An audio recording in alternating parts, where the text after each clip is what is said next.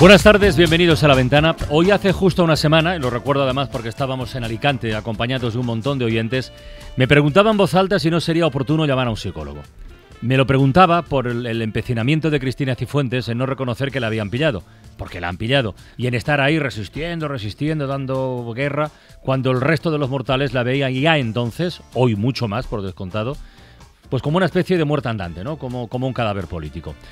Hoy vuelvo a pensar en lo del psicólogo, pero esta vez para preguntarle, le preguntaría, ¿qué es lo que esconde exactamente esa manía de querer aparentar más de lo que somos?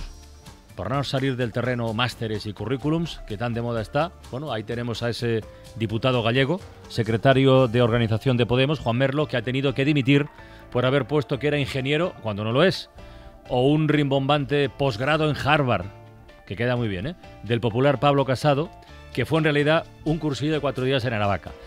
Y hay más, ¿eh? Y habrá más, porque ahora se ha levantado la veda y están apareciendo cosas de estas por todas partes. Ojo, ojo, lo de Cifuentes en concreto es muy gordo e incluso puede haber delito, ¿eh? No, no trato de minimizarlo ni muchísimo menos. Pero lo que me pregunto, y le preguntaría al psicólogo, es ¿qué nos impulsa a querer presumir de lo que no tenemos? Y, con el riesgo evidente de que te cacen.